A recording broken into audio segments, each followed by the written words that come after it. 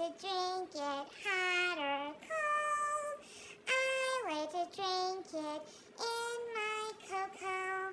I like to drink it